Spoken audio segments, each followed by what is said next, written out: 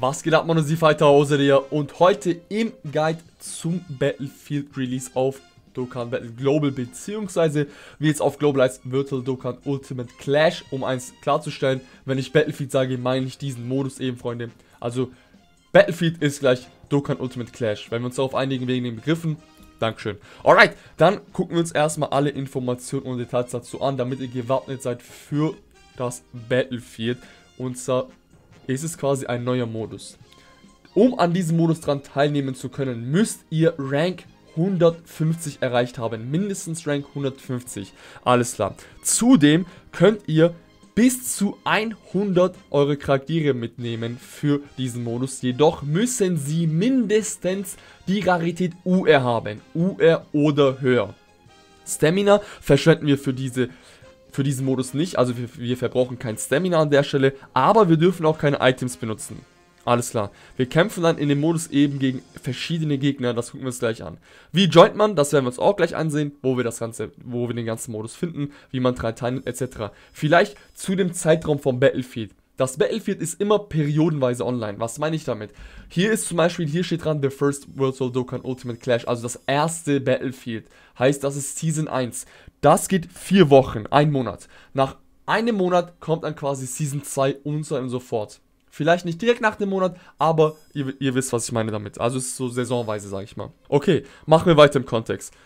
Ja, wir schauen uns gleich an, wie wir daran teilnehmen. Eben die Kämpfe. Wie sind die Kämpfe? Es ist mehr oder weniger so ein Raid-Kampf. Wir nehmen ja quasi ein Arsenal unserer Charaktere und kämpfen nacheinander gegen gewisse Gegner. Zum Beispiel ihr, können wir am Anfang wählen, das werden wir gleich sehen, Kämpfe entweder gegen Bojack oder gegen C13. Wenn wir beide besiegt haben, dann kommt quasi der Boss dieses Levels, das ist in dem Fall Broly. Eine Sache zu den Gegnern. Wenn wir zum Beispiel jetzt oder an sich zum Battle, das werden wir gleich merken alles, ich werde das gleich alles machen. Aber kurz aus vorweg. Wenn wir jetzt zum Beispiel Charaktere mitnehmen, ein Team mitnehmen, gegen, nehmen wir mal an, wir spielen gegen Broly, okay. Dann nehmen wir sieben Charaktere mit. Dann verlieren wir aber gegen Broly. Heißt, wir haben quasi natürlich den Kampf hier verloren, aber wir dürfen zum einen diese Charaktere, die wir für Broly benutzt haben, nicht wieder benutzen für diesen Run. Und Broly aber bleibt jedoch in dem Status, in dem wir ihn quasi, äh, beziehungsweise bei dem wir quasi gegen ihn verloren haben. Das heißt wiederum, wenn Brody zum Beispiel die Hälfte seiner HP hatte, wir verlieren diesen Kampf, gehen dann mit neuen Charakteren, mit einem nächsten Team zum Kampf zu Brody, dann hat er auch wieder denselben Status, also wieder die Hälfte der HP beispielsweise. Okay, dann Freunde, wie funktioniert das aber mit den Teams? Wir können nämlich im Battlefield keine Friends aussuchen. Wir setzen unseren eigenen Friends.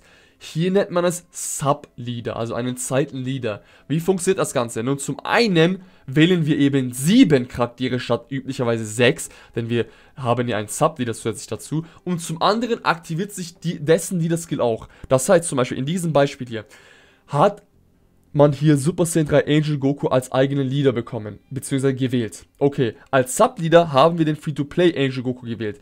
Dies wiederum heißt, das ganze Team bekommt diese beiden Leader-Skills, sowohl vom Leader als auch vom Sub-Leader. Okay. Es werden verschiedene Gegner sein, gegen die wir kämpfen werden, das werden wir uns gleich detaillierter ansehen. Verschiedene Gegner haben gewisse Sachen, gegen die sie immun sind, zum Beispiel hier bei Ginyu, den kann man nicht ziehen, etc. etc. Das sehen wir aber gleich auf den Stages. Battlefield Memory hier an der Stelle ist eine neue Währung im Barbershop. Primär, primär wollen wir eigentlich aus dem Battlefield eben diese Battlefield Memory, damit wir uns verschiedene Sachen dadurch kaufen können aus dem Barbershop. Andere Preise gibt es auch, die gucken wir uns aber gleich an. Was können wir denn mit den Battlefield Memories holen? Zum einen kam der physisch Allergenio rein, den gucken wir uns gleich detaillierter an. Zum anderen kamen aber auch Dupes für den Tech Genio rein. Alles klar, dann gucken wir erstmal, bevor wir in das Battlefield reingehen, uns die Sachen an, die wir aus dem Barbershop holen können für diese Battlefield Memory. Das ist, by the way, die neue Währung, wie gesagt. Okay, Freunde. Solange das Ganze lädt, wenn euch das Ganze bis jetzt schon gefallen hat, dann lasst auf jeden Fall ein Like da, Freunde. Und ich hoffe, ich konnte euch helfen. Wenn dem so ist, falls ihr noch Fragen habt, irgendwas, lasst mich in den Kommentaren wissen. Dann helfen wir uns da auf jeden Fall gegenseitig aus. Alles klar, hier die Sektion mit den Battlefield Memory Währungen. Ihr seht schon, wir können hier zum einen physisch Ginyu holen. Dieser physisch Ginyu, den können wir awaken zum LR physisch Ginyu. Dieser LR physisch Ginyu ist einer der älteren LR und er ist mehr oder weniger nice to have. Also man müsste ihn nicht unbedingt holen. Er gibt durch die Passive im Endeffekt, was nennenswert ist, für jeden Verbündeten, für jeden Verbündeten Key plus 3 auf den Angriff 7777. Okay. Und 7777 Battlefield Memories brauchen wir eben auch, um ihn zu holen. Eine Kopie. Ihr könnt maximal 5 holen, könnt dann quasi full dupen. Auf der anderen Seite können wir noch drei Dupes holen von unserem Boy Tech Allerginu. Der kostet auf jeden Fall schon weitaus mehr. Das sind an der Stelle 120.000 Battlefield Memories. Könnt euch drei Stück holen. Einer würde noch fehlen. Den einen werden wir in Zukunft bekommen aus der LF Freezer Campaign. Ist jedoch noch ungewiss, ungewiss, wann das Ganze online kommt. Außerhalb davon können wir uns wie gesagt Ultimate Clash Medaillen holen. Entweder hier durch die Battlefield Memory oder noch, falls ihr es wisst, aus den Incredible Gems mit den Incredible Gems. Falls ihr die nicht geholt habt, würde ich erst, erst äh, euch erstmal empfehlen, holt euch die, bevor ihr die aus dem Battlefield Memory Section holt. Wofür braucht man die? Um gewisse Charaktere zu awaken. Zum Beispiel diesen Allerginio hier. Fürs erste Awakening braucht ihr 7 äh, Ultimate Clash Medaillen. Für den LS-Status dann braucht ihr 70. Aber auch für LSL, der zum Beispiel rauskam, oder für Alagoran zum Beispiel. Okay, dann könnt ihr noch hier gerne reingucken, was, euch, was ihr euch aus den Battlefield Memories Währungen holen könnt. Ich würde euch aber empfehlen, eigentlich spart diese Battlefield Memories für die zukünftigen Charaktere, die hier reinkommen, denn zum anderen kommt hier noch Elemental Cooler rein, der ist echt solide und ein 2, beziehungsweise ein Super Saiyan Goku Strength und ein Margin Vegeta physisch. Man müsste nicht unbedingt jetzt physisch Ginyu holen oder Tech Ginyu Dupes, die sind mehr oder weniger nice to have. Falls ihr sie holen wollt, macht das natürlich, aber damit ihr da Bescheid wisst. Okay, zum Battlefield selbst nun, zu der ganzen Spielweise, zum Gameplay, auf was man achten muss, etc. Das Battlefield findet ihr hier bei Special. Wie gesagt, ab dem heutigen Zeitpunkt, ab dem ich das aufnehme, geht es noch 30 Tage, an sich geht es 4 Wochen. Okay, ihr klickt auf dran teilnehmen. Dann kommt ihr hier zu diesem Menü. Zum einen, ganz klar, Startbutton ist in der Mitte, da könnt ihr das Ganze starten. Bevor wir aber das starten und eine Runde da mal machen, gucken wir uns mal die Missionen an. Permanente Missionen sind quasi solche. Nimmt einmal dran teil, ist ein Dragonstone, Weekly, wöchentlich, das tut sich wie gesagt wöchentlich resetten. Könnt ihr euch 1500 Battlefield Memories farmen in dieser ganzen Periode, in der das Ganze online ist, nämlich einen Monat, tut es ja quasi viermal resetten und ihr könnt euch das holen. Das würde ich euch auf jeden Fall empfehlen. Dazu müsst ihr drei Stages schaffen, das können die meisten schaffen. Schafft eine Stage, zwei Stage, etc. etc. Ihr könnt das Ganze, steht auch dran, was ihr da alles bekommt. Statuen, ähm, gewisse Stones, Pass Stones, Orbs und so weiter und so fort. Und wenn wir das dann quasi komplett schaffen, bekommen wir das alles, was hier gelistet ist. Gut, so viel zu den Missionen. Wie funktioniert aber das ganze Battlefield? Wir wissen ja, jede Season gibt es andere Gegner. Bei Stage Info könnt ihr euch anschauen, gegen welche Gegner ihr kämpfen müsst. Insgesamt sind es 8 Stages, die wir schaffen müssen. Dabei wird das Ganze aber auf drei Level unterschieden, nämlich Level 1, Level 2 und Level 3. Wir fangen ganz klar mit Level 1 an. Wir kämpfen erstmal gegen Extreme Physisch Captain Ginyu. Wenn wir ihn besiegt haben, da sehen wir noch nicht die Details dazu, weil wir noch nie da drin waren. Falls ihr, das einmal, falls ihr dort einmal drin wart, seht ihr die Details. Aber dann kommt quasi der Boss Extreme Argel Type. Dann kommen wir zu Level 2, wenn wir ihn schaffen. Extreme In-Type, Extreme Tech-Type, dann kommt wieder ein Boss, Extreme Strength-Type, dann kommen wir zu Level 3, haben wir Extreme Tech-Type, super physisch und der letzte Boss ist ein super AGL-Type. Ihr seht schon, wir kämpfen hier wirklich nur gegen einen Gegner, gegen einen Typus. Deswegen, Freunde, welche Taktik geht man hier heran? Wir dürfen ja nämlich, das mache ich gleich, bis zu 100 Charaktere aus unserer Liste wählen. Das mache ich gleich. Aber welche Taktik gehen wir hier ran? Da wir quasi da wir quasi immer nur gegen einen Typus kämpfen werden, wäre es am idealsten, wenn man die Charaktere so wählt, sodass man im Endeffekt viele Mono-Teams bauen kann. Im Endeffekt ein Team nur aus Schenk-Charakteren, ein Team nur aus Argel-Charakteren und so weiter und so fort. Deswegen wäre hier vorteilhaft, wenn man die Neogat-Nieder hätte. Am idealsten, Freunde, wäre es, wenn ihr euch quasi mit der Auswahl eurer Charaktere alle Neogat-Teams bauen könnt. Also ein Super Strength Team, Extreme Strength Team, ein Super AGL Team, Extreme AGL Team und so weiter und so fort für die anderen Typen. Das kann natürlich nicht jeder, das wäre aber wie gesagt nur idealerweise. Man kann aber auch natürlich Kategorie-Teams wählen. Zum Beispiel, wenn ihr LR Vegito als euren Leader nimmt und als Sub-Leader Kevlar. Denn Kevlar und LR Vegito sind Charaktere, die der Potara-Kategorie einen Boost geben dann könnt ihr euch ein Potara-Team bauen. Das geht natürlich auch und das geht für jede Variante von Team, Freunde. Ganz wichtig ist einfach nur, dass ihr eure Charaktere so wählt, sodass ihr gute Teams bauen könnt, mit in Anbedacht dessen, dass ihr berücksichtigt, dass ihr Leader und Sub-Leader wählen müsst. Deswegen in dem Beispiel zum Beispiel Vegito als Leader und Sub-Leader Kevlar. Das gilt wie gesagt für jede Kategorie. Da hat es ein, zwei Charaktere, die die Leader-Skills haben dazu auch. Das gilt aber auch natürlich für Heroes und Villains-Team. Und an der Stelle, Freunde, Schaut euch eure Charaktere wirklich genau an, weil viele Charaktere haben Leader-Skills, von denen ihr wahrscheinlich nicht denkt, dass sie diese Leader-Skills haben und oder gute Leader-Skills haben. Beispielsweise, wenn wir einfach mal reingucken, zum Beispiel Kalifla. Sie gibt jedem Typus Ki plus 2 HP und Attack und F 70%. Ist ein guter Subleader. Oder an der anderen Stelle zum Beispiel, wenn ich spontanerweise einfach mal ein, zwei euch zeigen darf. Beispielsweise der physisch Free-to-Play Ultra Instinct Goku. Der ist nämlich auch ein Dream of Gods Leader. Wo ist denn der Dude hier? Wo haben wir? Hier haben wir ihn. Da gibt es zum Beispiel Dream of Gods Charakteren, und sorry, nicht Dream of Gods Charakteren, er gibt den Universe Survival Saga Charakteren, Ki plus 2, HP Attack und F30%. Heißt, ihr könnt zum Beispiel Jiren als euren Leader nehmen und als Subleader euren Ultra Instinct Goku. Achtet deswegen, schaut euch eure Charaktere genau an, zum Beispiel zum Beispiel Kale gibt physisch Charakteren Ki plus 2, HP, Attack und F90%. Ein sehr guter Subleader. Schaut euch genau eure Charaktere an, um zu wissen, welche Subleader ihr mitnehmen könnt, welche Teams ihr bauen könnt.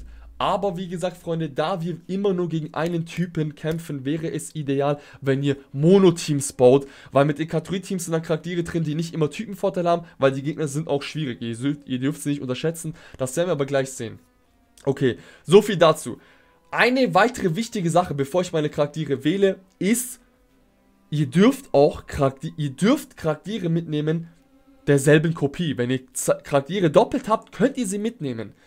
Das ist egal. Oder Charaktere, die denselben Namen, könnt ihr mitnehmen. Ihr könnt alles mitnehmen, Freunde. Ihr könnt zum Beispiel, ich habe hier einen Kaioken Goku Blue, ich kann aber auch Goku Blue mitnehmen. Mitnehmen, okay? Unterschied, benutzen.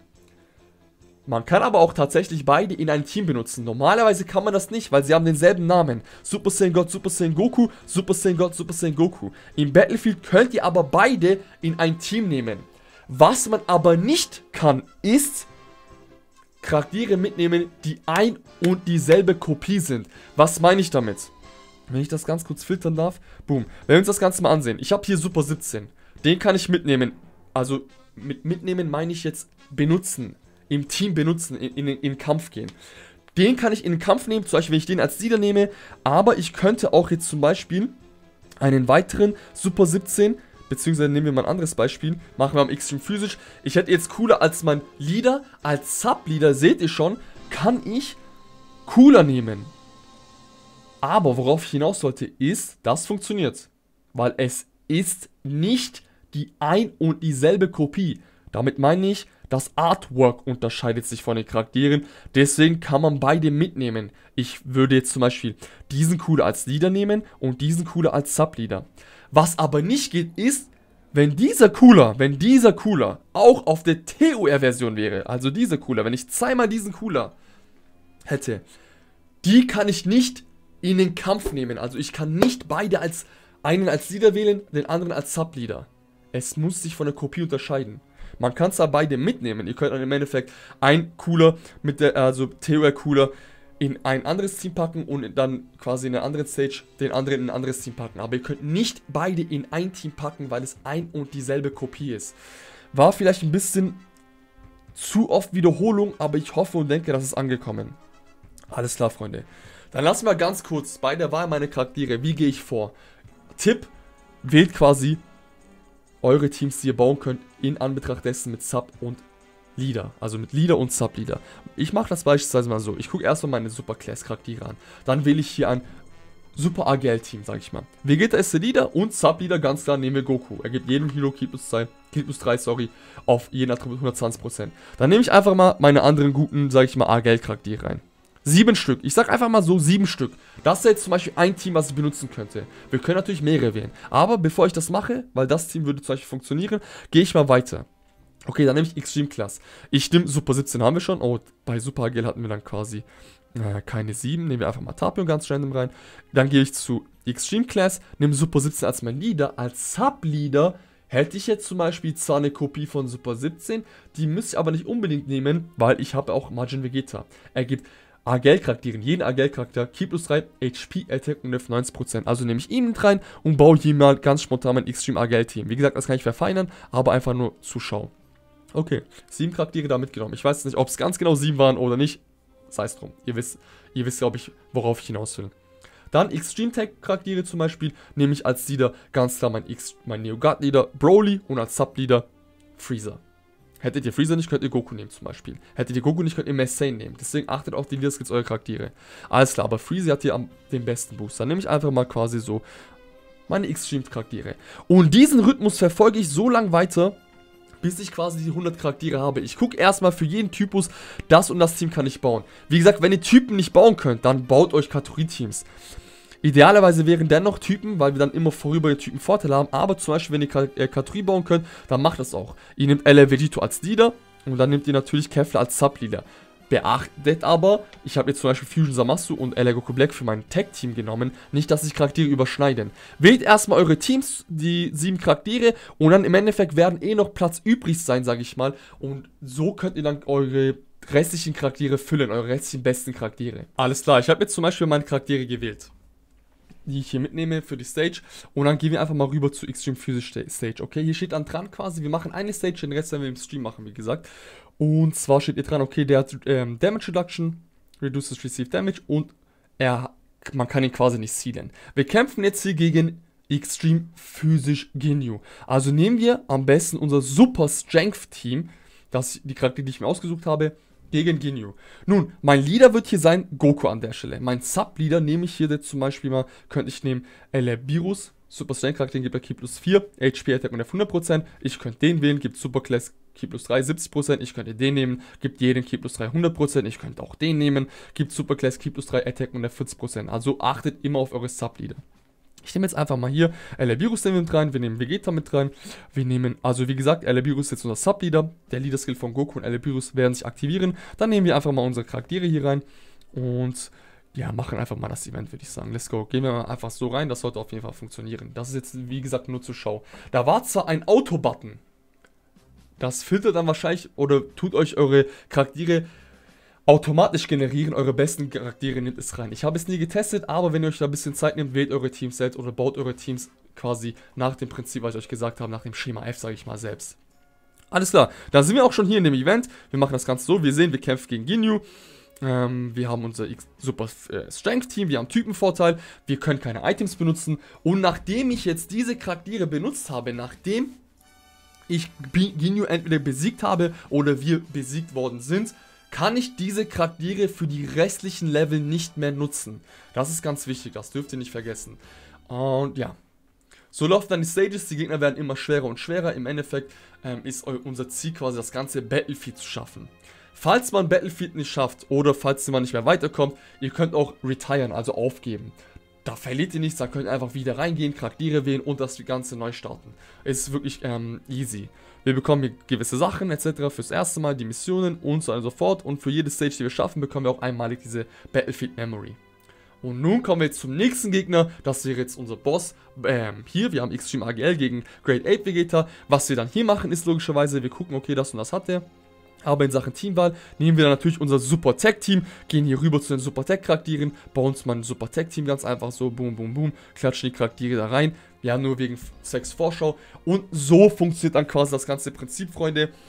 Ähm, wie gesagt, Freunde, achtet wirklich darauf, dass ihr eure Leader, Subleader richtig wählt. Der eine ist dann quasi eure Leader, der andere Subleader. Beide Links aktivieren sich in Sachen, welche Charaktere ihr nehmen wollt. Seid ihr hoffentlich auch geleckt, wie das Ganze funktioniert. Hoffentlich auch. Langer Rede, kurz Sinn. Ich denke und hoffe, ich konnte alle wichtigen Informationen preisgeben. Achtet, wie gesagt, auf die Leader-Skill eurer Charaktere und achtet auch darauf, dass ihr in das Team Charaktere mitnehmen könnt, die zum Beispiel denselben Namen haben. Zum Beispiel hier, äh, wenn ich die mal entfernen darf.